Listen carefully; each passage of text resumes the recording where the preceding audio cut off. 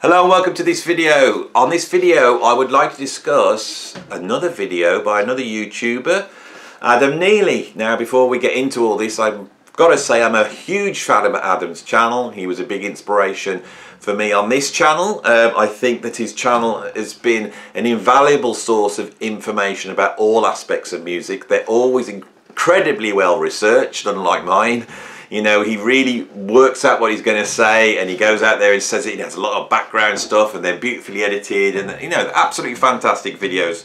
And I've enjoyed them for many years now. Um, a few days ago, he put up a video asking if, if the uh, singer-songwriter Laufey um, is jazz. Now, of course, me being my age, I'd never heard of this singer, so um, um, I checked her out and then I watched the video and in that video, for me, a lot of the things I've been discussing about the gatekeeperingness of jazz is quite apparent in this video. And throughout the video, it's quite apparent to Adam, who keeps sort of talking to himself in this sort of um, third person, asking himself, you know, why are you bothered? Why are you gatekeeping jazz? And for me, that's the overall question behind this video. Why is Adam feeling the need to gatekeep what is jazz and what isn't jazz. You know, that's a very interesting thing. Anyway, let's let's get into this. I'm going to sort of um, uh, supply commentary to that. Um, I've got some notes here because I'm not all um, well researched and scripted like Adam. You know, I make this stuff up on the spot a little bit like an actual jazz musician. And I think fundamentally that's what jazz musicians are, aren't they? They're people who make stuff up on the spot. So you know, Adam can, if he wants, you know, do a, a, a, reply video. He asks whether I'm jazz, you know. but I'm sure he wouldn't. I wish he would, though. You know, it would do my channel a lot of good. And of course, this is the starting point for uh, this video. Laufey is a singer-songwriter from Iceland. Um, she now re resides in Los Angeles. She was uh, a ex-Berklee music student. She obviously really knows her stuff. She started playing a whole host of different instruments at the age of four. I think she started on the cello when she was like that, around about that age. Um, she's from a very musical family, um, classical background. She's played in orchestral, you know, she played orchestral music. And she's got a real great interest in jazz, especially vocal jazz and she's um, really sort of entered the pop market a little bit like Samara Joy, who's another singer that's come out and won all these Grammys and stuff you know, basically making pop music, but with a very, very strong jazz influence. And this is very interesting, exciting for us who love jazz because um, when you've got an artist like Laufey who has got 13 million listeners a month, you know, and thousands of young people singing back all this incredible, you know, jazz and bebop vocabulary, that's a wonderful thing. And Adam makes that point right at the start.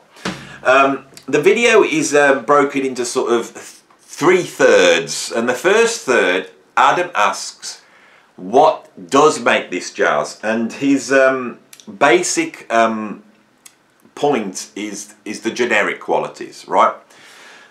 So let's just examine that for a little bit. Um, most styles of music are defined entirely on their generic qualities, you know. So if you like heavy metal and you grow up being influenced by heavy metal, and then you go on to make music that sounds like heavy metal because you're influenced by heavy metal, it's highly likely that someone will say, yeah, that's a heavy metal artist. Um, if you move too far stylistically from what we consider to be heavy metal, then um, people will start saying, well, that's not really heavy metal, there's too much reggae in it, or there's too much funk in it, you know. But if you get it right about, you can push the boundaries out a little bit.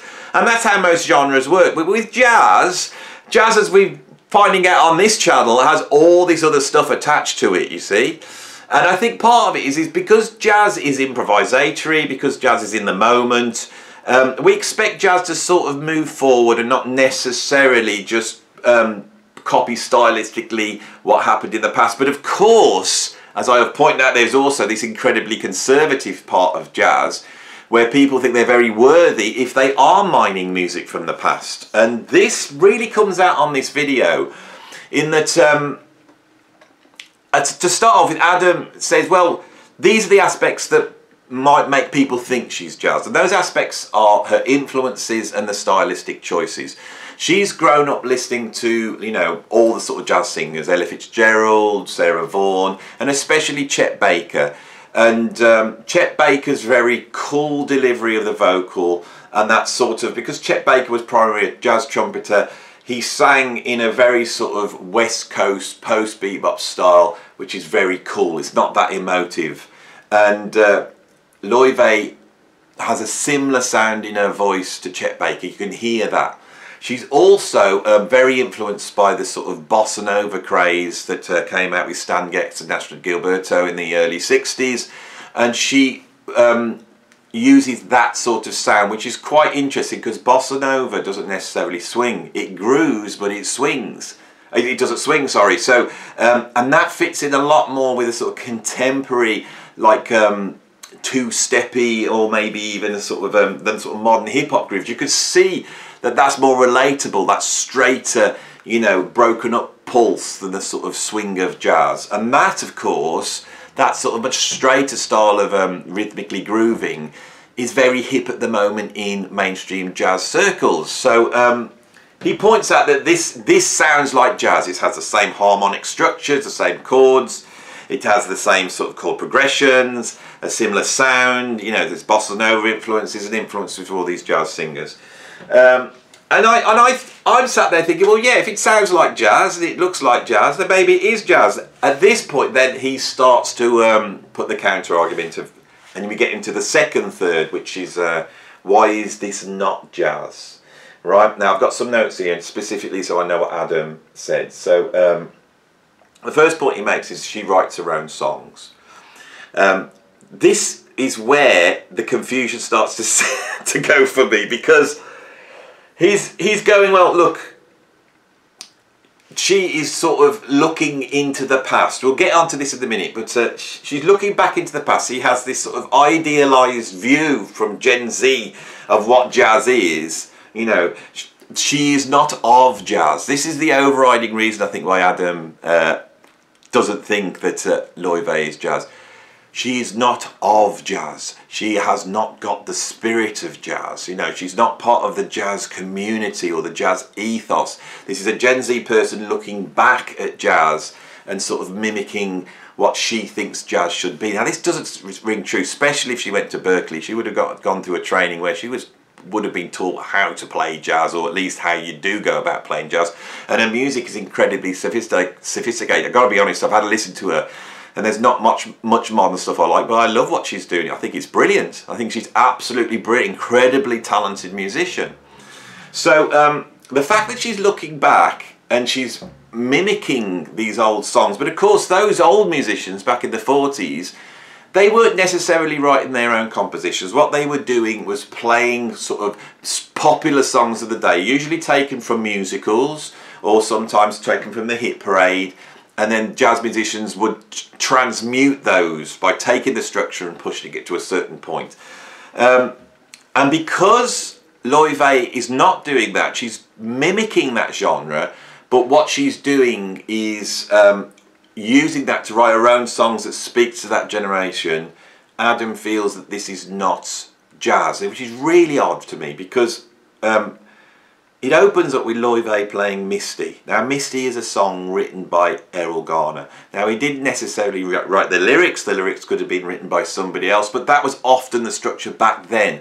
But this idea that jazz musicians don't write their own music, don't write their own songs, is is really based upon jazz around about 1940, early 50s.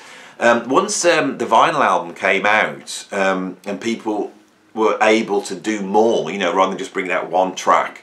And people were trying to trigger the pop hits of the day because rock and roll had come out and we get that sort of emergence. Jazz musicians become much more auteur if that is a word. You know, they start to make their own music. And of course, jazz composition is very important, going right back to Duke Ellington. Now, um, the idea that musicians didn't write songs, right? Is not the case. And by the time we get to the 70s, most jazz musicians who are performing vocal music they are involved in the songwriting process very often. The idea we could discount somebody because they're writing their own songs doesn't work for me. So I don't think we can use this as a, as a basis of saying this is why Laufey is not jazz. Um, the next thing is, of course, we get the Holy Trinity of uh, jazz appear and he shows clips of Wynton Marsalis, Stanley Crouch and Ken Burns. Now I don't want to get into all that because I've done loads of videos on that.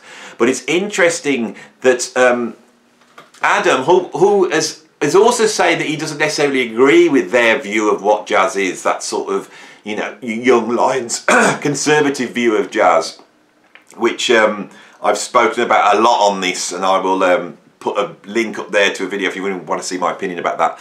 Um, he's still quoting them and they come in with a definition of jazz right? And um, I find this definition troublesome. And on this channel I have never tried to go for a definition of jazz. Now I'm my my um what I go for is the things that jazz pioneered. So jazz does a whole ton of stuff right but when we look at what's unique about jazz for me what it is is having an individual voice, right? So performing a song or a tune with your own voice rather than conforming to the voice that the composer expects. That's one of the big differences for me. The second one would be the idea of groove. Now they talk about swing, but I think the, the innovation is not swing. You can't say that's not jazz because it's not swinging, right? it just doesn't make sense. Do I have to go through all the jazz that doesn't swing? You know, Keith Jarrett concert, is that, is that not um, jazz? Does it swing or does it not swing? You know, um, all the stuff that's got funk grooves behind it. So jazz fusion. And Adam's almost like, he is, um, on this video, um, he has rationalised that sort of Ken Burns, Wynton Marsalis, Stanley Crouch thing by going, um, jazz fusion isn't jazz. It's like a, a, a, a, naughty little younger brother or something. That's how he describes it. Um, and I, to me, jazz fusion is jazz. That's the whole point. I think that's what annoys me about the gatekeepers, you know, because there's a whole ton of jazz musicians that made music for the last 50 years, which I consider jazz, you know. And a lot of that music doesn't swing, but it grooves. Right? Now think about what jazz pioneers, up until jazz comes out, what grooves? There's stuff that's like dancey, there's stuff you can dance to that's got a pulse, but this idea of having an internal sort of visceral motor groove in it that you appreciate as a being a foremost characteristic of the music, I think is one of the things that jazz pioneered. Um, the other thing I think that jazz pioneers is the use of improvisation within the compositional structure. Not just improvising, but improvisation being key to the structure of the tune. In other words, you can't really perform this tune unless you improvise. Those aren't necessary definitions for me. What they are are um, things that jazz innovated and pioneered. It's what makes jazz special. But I think to the idea of then setting that as a limit means that if somebody, and Adam makes this point on the video, if somebody like Duke Ellington's musicians are just playing one of his compositions, we have to say, okay, that's not jazz anymore. Right? Um, I think um, one of the problems we have um, with sort of modern philosophy is this idea of seeing people as being groups. We're dealing with the, the, the group of musicians that make jazz. Rather than seeing it that um, there's this style of music and individual musicians are defined by that. So if Louis Armstrong is then defined because he's a jazz musician we judge him individually. And so if he then sings you know we've got all the time in the world for James Bond film it's still jazz because it's defined by Louis Louis makes it jazz. I think this is something that's really important. You know, if I buy a you know Chet Baker album or Charlie Parker album or Miles Davis album, whatever they're doing, it's defined as jazz because that guy is, themselves is defined by jazz because of what they do. And they are allowed at certain points to push against the limits of that. But as a whole, so what I'm saying, I think, is that I take the whole thing as an average rather than sitting there pointing going that bit's jazz that bit's jazz. Oh that's not jazz that's not jazz. Oh that bit was jazz. And on the whole there's more not jazz than jazz so maybe this isn't jazz. The whole thing's preposterous you know. And so um, we have this definition as though it's set in stone, even though Adam Neely says it's not set in stone, he doesn't agree with it. Now, their definition is it's got swing, right? It's got the blues in it, and it uses improvisation. Now, I think if we were to say that something isn't jazz because it hasn't got the blues in, suddenly we start to discount a whole ton of music that we would class as jazz. Anthony Braxton, certain aspects of free jazz, um, European improvised music, um, Keith Jarrett's piano improvisations, all these things, the thing, very things that were discounted by Ken Burns in the jazz documentary, suddenly that's not jazz. Okay? Um, then they make a very strange point about jazz being adult music and it's appreciated by adults and young people can't get into it because they're disengaged from it? Yes, you bet. You want to know why? Because of the gatekeepers. I am an educationalist and I've met so many students, music students of like 16 years old, who I can see have that want to push music improvisationally forward and tentatively starting to go towards jazz. They find an interest in that and then suddenly they hit the wall of playing the changes, having the right tone, having the right sound. And this is the classic classifying of jazz as in classical music. It's, it's the uh, Western Euro European model of what music is. Uh, worthiness of that music transplanted onto jazz and I've done a video on this where I've really explained why I think this has happened. This has happened over the last 40 years. Jazz has become the American classical music and it now reeks of a whole bunch of values that really come from Western European art music. And if you're not conforming to that, we know how snotty that is. If you're not conforming to that, suddenly you're not jazz. You might be great, you know, but you're not jazz. So, and that, that's what I think is going on here. And it's going on here at a level which is underneath the sort of uh, the awareness of the people who are saying it. I don't think that it's a subconscious um, level of just accepting these sort of dogmas. Right, so um, so this idea that young people young people are always have a magnetic attraction towards jazz if they're musicians. The gatekeepers come and stop them from coming in. What we want are musicians bringing in from their, their sort of youth culture and their spirit. We want that going into jazz. That's what needs to keep jazz alive. Whereas on this video, Adam Neely is continually saying, oh, there's these Gen Z references, or she's using lyrics that would be, you know, uh, uh, talking about relationships and talking about things that young people are interested in. And this sort of somehow is makes it not jazz. Maybe does make it not jazz, but what I'm saying, it should. You know, jazz should be letting this stuff in, right? Um, okay, so um, when we look at what Stanley Crouch um, says later on, so Stanley Crouch comes up with this definition he says it's the blues, it's swing and improvisation. And then later on he starts to talk about having an individual voice and how you integrate that individual voice into an ensemble. That that is a really powerful thing, right? It's part of my um, innovatory list because I'm not going to try not to use the word definition of jazz.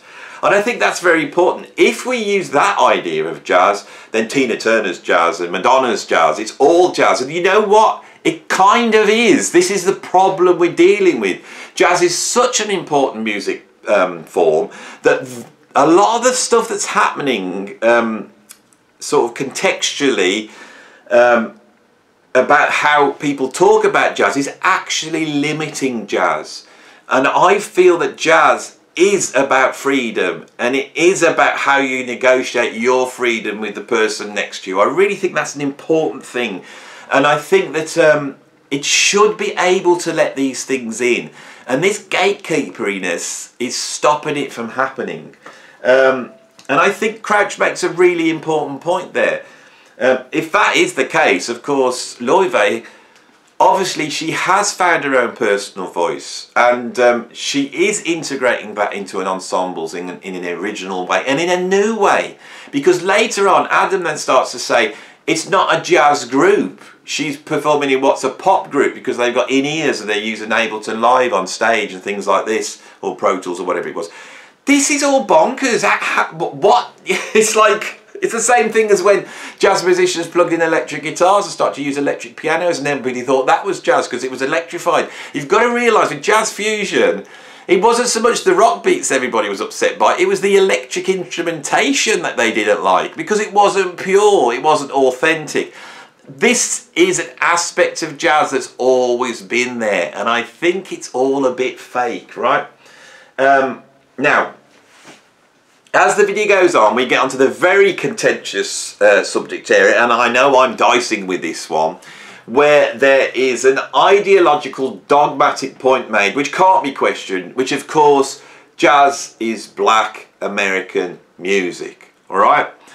We're not allowed to question that. I have been questioning it on this channel. I've had a little bit of kickback. I am not questioning it because I'm some sort of racist who wants to diminish the input of uh, um, Afro-Americans on jazz music history or even music history. Anyone who's watched this channel will know that that is absolutely not the case with me. And it's actually, I think, ironically, this approach is diminishing the achievements of incredible Afro-American musicians. That's what I feel right? Um, when I go back and look at the history of jazz, the deeper I get into it, it seems that it was in the 19th century a melting pot of all sorts of music, which is really fundamentally rooted in European music forms, marching music. It used that instrumentation, it used that arrangement, it used those instruments, it uses techniques from that.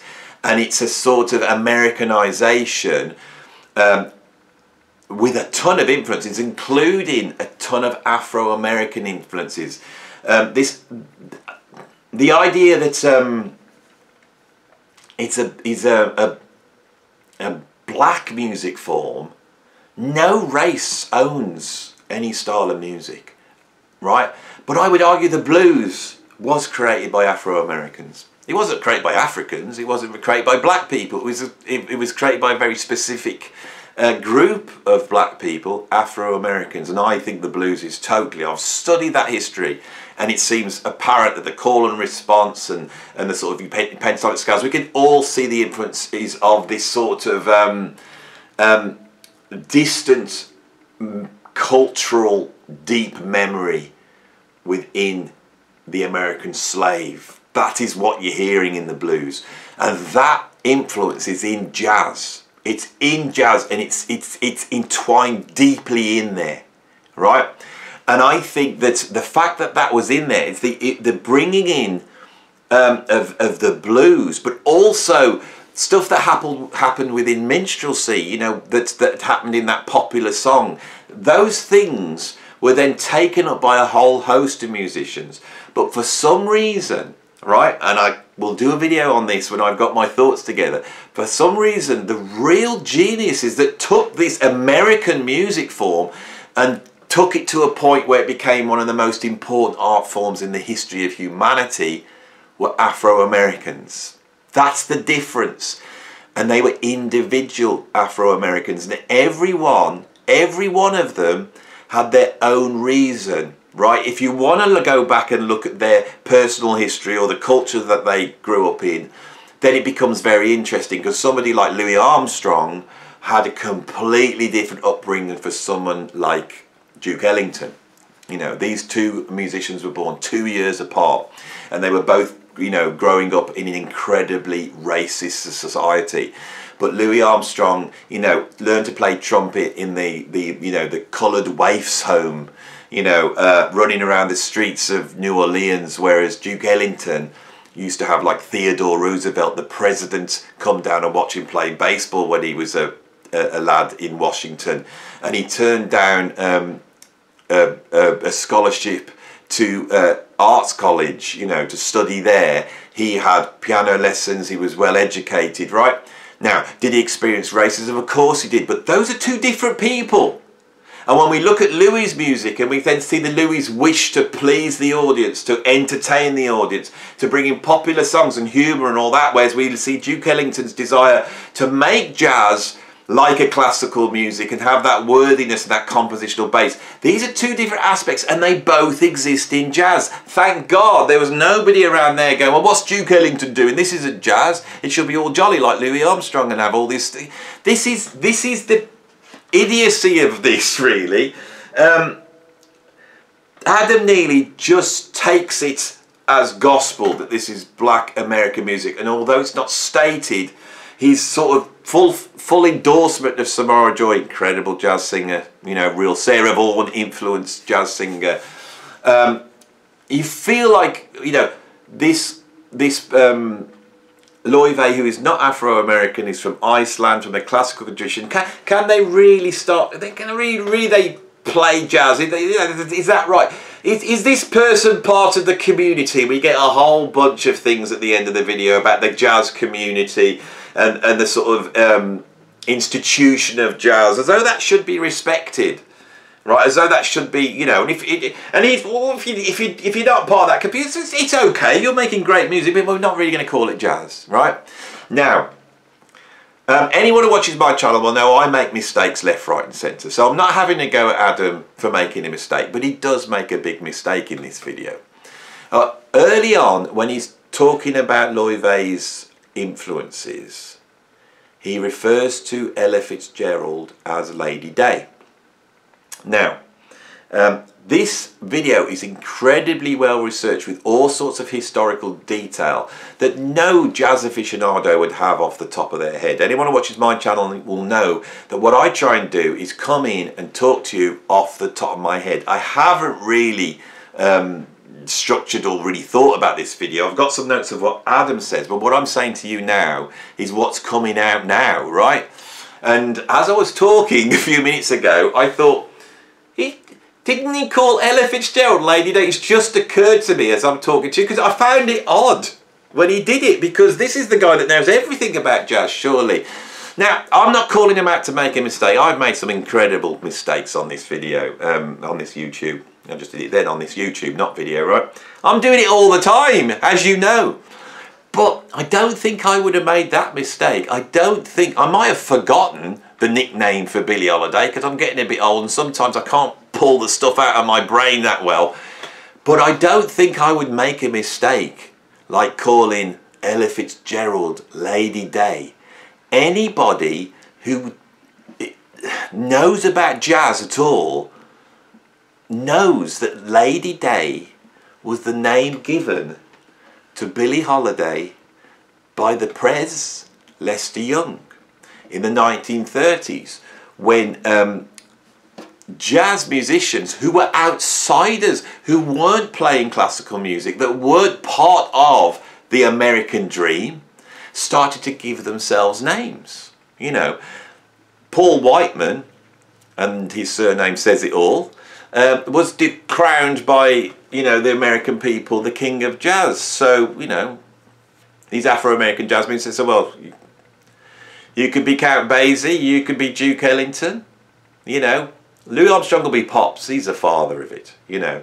Um, we've got President Young there, and Billie, you could be Lady Day. And I think this is a wonderful thing because it points to the outsideriness of jazz at that time. It wasn't part of the mainstream. It wasn't part of academic study and people with PhDs pontificating on what jazz is and what jazz isn't and what it should be and what it isn't. It wasn't like that. Most jazz musicians didn't care or even know about the history of jazz. They got up and played because they were part of this thing that was jazz and at that point it was alive and they felt free to do whatever they want and they were pushing against the boundaries of it. Now the fact that Adam Neely makes such a basic error and yet this video is so full of incredible facts about jazz. I learned stuff about you know I, I didn't know that like the the vocal groups like the Andrew the Andrew sisters or singers or whatever it was. Um, what was it? The Andrew. It was the Andrew sisters, wasn't it? I don't know. Was it the Beverley sisters? See, this is what happens when you can do this, you know. But um, not Lady Day. But I didn't know anyway that they they were um, you know, there was all these vocal harmonisations that was mimicking big band came out because of the writer strike. I knew about the writer strike. I knew all that. I hadn't just hadn't put that together. It was interesting, and that's what I appreciate about Adam is is is the, the stuff that's on there. This information. It's it's it's brilliant stuff. I've learned a lot watching this channel. So how come he doesn't know about Lady Day? How come? And the reason is it's because Adam is the product of that white, middle class, hyper privileged jazz, ex jazz student thing that exists right now. And it's all intellectual. And people are looking at this thing, and the thing is, it's of a value to them because it validates them. Jazz validates a whole bunch of people who are walking around with a PhD in jazz, basically. It validates them. All right? And um, if they start to let that be soiled by saying Laufey is a jazz musician, it starts to upset the apple, apple cart and the community. And we get these videos of, of these sort of modern rent parties going on in New York at the at the the uh, at the moment, and um, you get that feeling that I always get when I watch Adam Neely, and it's that feeling that here I am sat in the West Midlands in the UK, right? I've only ever been, so I've just banged this cymbal. I've only ever been to New York once, and that was when I was on, on tour with the prog band, and I drove through it and saw Statue of Liberty. Went, wow, it's a Statue of Liberty over there. Wow, you know, that is that is the limit. I sat here as a jazz fan. Here, I grew up, heard jazz from the year dot because my dad was into it, and I love this style of music. And, you know, and I've played it, and I've studied it, and I've bought it and I just love it. But I'm sat here. I'm not in that cool place in New York. I'm not part of those, you know, rent parties. I'm not part of that scene. And what Adam Neely says virtually by the end of this video is if you're not part of that scene, then you shouldn't, or you, you, you have to respect that in some way. Respect what? I, I mean, when I really watched it and I, and I, I thought I'm going to critique this, actually one of my patrons, and thank you for this because they pointed it out to me and said, Andy, you're going to have to get your teeth into this one. And I thought when I watched it, I would go, right, you know, I don't agree with that, I agree with that. But actually, I can't quite get my hands on what the point is Adam is making on this video. It's, it's like um, he's, he, he seems invested in trying to show that Laufey is not jazz, right? And he's trying to find reasons to say why it's not jazz. And yet, the because he's a very intelligent guy, he's outside himself going, why am I doing this for? Why am I why am I gatekeeping jazz? And then the, the, the jazz student, the person that's been, you know, brainwashed by the ideological, you know, approach of modern jazz education is go, no, just keep going, get the gate out, shut it, get her out. You know, we don't want that soiling. We don't want this modern pop music, Gen Z. You know, she's not swinging. She doesn't swing. You know, I mean, this is like 1980s sort of conservative, conservatism raising its head. You know, oh, she, they don't swing. You don't swing. I've had that, you know, said to me once. You know, oh, you know, thing with you know, you, you don't swing. What? What does that mean? You know, these are the things that beat people over the head, you know. It's like Peter Erskine sat there, you know, saying if you go, you have to go, you can't go, you can't do that. I watched a video with Peter Erskine say, you can't do that. I was thinking, why? Why can't you do that? You know, um, it's like all jazz drummers used to play the hi-hat on two or four. One, two, then Tony Williams comes on and he's, he's doing that, you know. Then Jack DeJohnette comes and he's going, all this, and I'm going, oh, you know, that's not how you do it. Jack, you should go back and play like Art Blakey. Go back and play like Max Roach. In fact, go back and play like Zutty Singleton. Or Baby Dodds. That's what you should be doing. You're not, you're not jazz now because you're doing it different. Right? I, this video, I was hoping to do a very rational you know, breakdown. And I tried my best at the start, but I got to be honest, I'm on one now. I, I don't get it, right? I'm not saying I've got all the answers. I've tried my best on this channel to come up with some commentary about this, but I've got to be honest, if I really am, if I'm really honest, and I've got to be honest, so I will be honest, when I step back, I don't get it. I don't get what Adam Neely's trying to do on this video. I don't get it. Now, you could say, well, Laufey's got 30 million, you know, listeners on Spotify, you know, she is technically the biggest jazz artist in the world. People are putting really awful sort of um, critique videos up. Adam's an intelligent guy. He's put a really good one up and it's going to get the views and he will make some money. And I'm sure that, and I don't begrudge anybody that. And here I am, you know, um, trying to jump on Adam Neely's back, you know, and I nearly Can I use that word here? I nearly, with Adam Neely, I nearly thought of having this diagram which had Laufey here, 24 years old, and she, she's like this giant of uh, contemporary culture.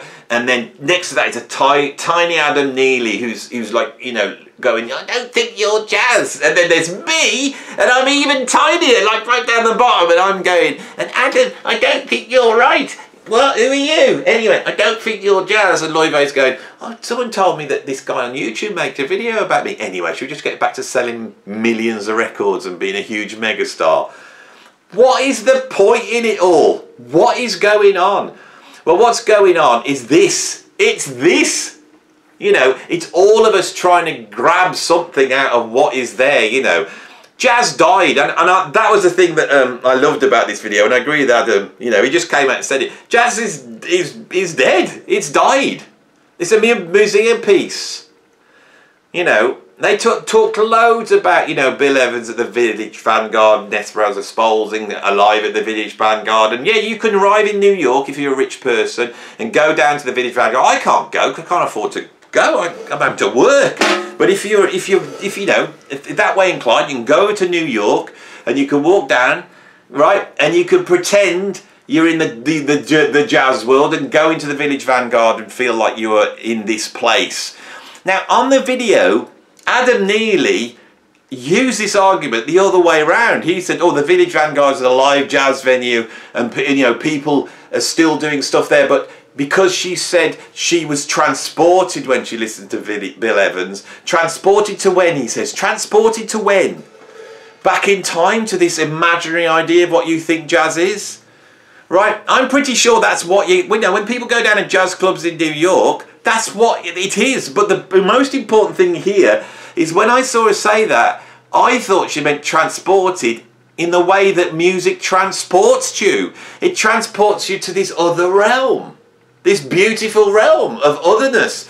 And when you listen to Bill Evans live at the Village Vanguard, the reminder that there's people there eating their dinner and clinking, you know, their cutlery, and at the same time there's this incredible music which is transporting you up beyond this earthly realm. That's what I thought, it, but that's just my opinion, isn't it?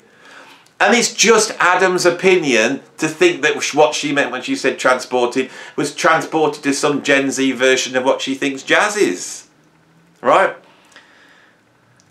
I'm trying to be honest on this video. I'm trying to um, not come off as I know I've done that on some of these videos. I'm trying here not to come off as the clever guy that's going to go, oh, I don't. I think Adam's wrong actually, and I've got the right idea of what jazz is. Then somebody else, you know, will come along and say, well, Andy Edwards is actually wrong. We could all go in a big circle saying what jazz is and what jazz isn't. Right? I think the thing is, let's just say we love jazz. It's an amazing art form and I know it when I hear it. And when I heard Laufey, I thought, well, this is jazz. But this is jazz in the same way as um, Harry Connick Jr.'s jazz. But Harry Connick Jr. is jazz, right? When Robbie Williams gets up and he does that Frank Sinatra album, he sings with a big band. Is that jazz? Yeah, if he'd have made a heavy metal album, it would have been a heavy metal album. But when Robbie Williams gets on stage with a big band behind him and sings Frank Sinatra songs, that's jazz. It's generically jazz, right? Is it Pharoah Sanders? Of course it's not. Because this is a big genre. And in this genre, we have music which is high art intellectual, but we also have a bunch of music which then became from the blues, rhythm and blues, soul, R&B, rock and roll, jump music, jive music, reggae, funk, dance music, hip hop, rap. All of that has a little bit. Keep banging the hi-hats. Has a, have, have a little bit of. Um, I'm doing my shoelace up now. I'm, I'm, I'm, I'm so into this one that I'm sitting here just chatting, banging my cymbals and tying my shoelaces up. I'm, I'm, I'm, I, I, it's so not the way I wanted this to go, I tell you. Um, but I feel I've explained my opinion of it. I, and I, as I said, I love Adam Neely. I think he's great. But I think he's a product of that jazz education system. And I think it's all about being intellectual and clever and now he has a YouTube video. It's all about trying to jump on the back of uh, Laufey and get some uh, intellectual views and likes on his channel. And there's nothing wrong with that. But what he's saying doesn't really make that much sense. A lot of it um, doesn't add up. Um, I don't think it determines whether she is jazz or she isn't. And in, in the end, I don't think she cares. I don't care. I don't think even Adam Neely cares. You know, what is it all about? Anyway, I think I've got to the end of the video now. I hope you enjoyed this. It didn't go the way I wanted. I bet I haven't said everything I wanted to say. It, have you ever seen that uh, Herbie Hancock interview when he's saying what was it like playing with Miles Davis? He says it's like having a conversation with some somebody, and he goes, "You know that thing where um, you have an idea." He goes, "Oh, I'll say that point," but then the conversation goes somewhere else, and you think, "Oh, well, I didn't make my point, but it was an interesting place we went." Um, that's what this video has been like. Like Herbie Hancock playing for Miles Day. That's what it's been like. That's the level I'm at. Not Adam Neely. What is he? And the other thing is I forgot to do. Oh, bum. I was going to do a little bit of a parody because he's stand he's stood up, he's like this, he's stood up and he's got his mug. Right, he's got his he's got his white mug and I was going to be holding a mug in mine. And I forgot to get the mug, right? And I like this because it's like Adam's there. He's, he's in his he's in his dark flat, and he's having a walk round, and he's he's thinking about you know altered dominants and you know and the microtonic possibilities of the, the flat third moving to the major third, and this he's he's like that, and he's got his cup of tea because he's just hanging out, and then he just walks over to the camera, switches on, and then he comes out with all this stuff that he's worked out for the past month that he's going to say, and then makes a terrible error, like Lady Day. But the fact that the the mug really says more about what that video is about than um, I think what he's actually saying. Now, I have got a Christmas pudding. And um, so I haven't got a mug, but I will finish this video holding a Christmas pudding that will represent the white mug of Adam Neely. The white mug of worthy intellectualness. That is what this is representing here this Christmas pudding. I do believe it makes a sound.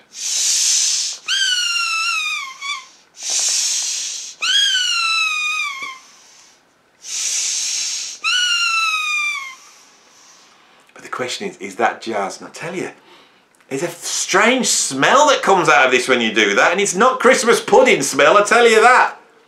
Oh my God. It's been here for a while. I bet there's been some sort of infestation inside here. I didn't like that at all. I didn't expect that at all. Um, anyway, well, so I haven't done the mug, but I've done the Christmas pudding. What else haven't I done? Um, uh, Laufey points out the gatekeepers. Yes, she does. She's aware of the gatekeepers and the importance of conforming to tradition and it denies all non-US jazz. Yeah, so um, this is a big thing for me. If you accept Adam Neely's definition, I have said this earlier on, but I think it's a really important point, then because I'm not part of the community, I've said all this, I'm just ranting on now, I've, I've, I've covered it all. I've covered it all. Is anything I wanted to say? Oh yeah, one more thing. But, um, there's one point where he goes, um, here's Laufey playing in front of an orchestra but she's not interacting with that orchestra. Right? So it's not jazz. No musician who plays in front of an orchestra interacts with that orchestra. Right? When Wynton Marsalis made that Hot House Flowers album, that, you know, that real, you know, crass bid at commerciality when he was the biggest thing on the planet and he stood up in front of an orchestra and played this sort of Nelson Riddle type arranged jazz. Those musicians weren't listening to Wynton going, oh, I might do that because Wynton did that. And Wynton was going, oh, God, the violins all did that in unison and I didn't expect it to all react to that. They want, that's not what's going on. Nobody does this. The whole thing's bonkers. The whole thing is bonkers. What the hell is going on? I'm definitely at the end of the video now. I'm getting, I'm getting, I'm getting worn out. Acting like this. All right. Um, if you like this video, then please like it. And if you want to see more, subscribe and ring the notification bell. And if you want to support me, you've got two ways. You can go over to my Patreon and become a patron and there's a ton of content over there. I've talked about this over and over again, but if it's the first video you've seen by me, go, you know, you're not, well, you're not going to become a patron anyway, are you? If you only watch one video, you're going to at least, have watched four videos, I would have said, before you decide to become a patron, maybe even ten. But if you want to support me anyway, as a patron over there, and uh, come on over and say hello. It's, it's uh, I do enjoy it over there with my patrons. We have a lot of fun. Um, I was uh, posting photographs of large dogs this morning. Um, yes, it's if you think this is surreal, you want to go over to Patreon. Um, and if you if Patreon's not your thing, I have a YouTube tip jar down there. Click it and give me some money because I do like money. Me and Adam both like money, and we like money coming from our YouTube viewers because this is what I want to do. This is what Adam wants to do. Adam, if you have happened to watch this and you haven't seen any of my videos, that I do have a sort of English sarcastic sense of humour and I do rib. But like I said at the beginning of the video, I do love your channel. I think it's absolutely wonderful. And uh, don't be prejudiced against me if you do want to mention me and, you know, send a few of your vast million subscribers my way. I would like that very much. I can't tell you how much I would. Anyway, thanks for watching the video. I'll see you on the next one. Bye-bye.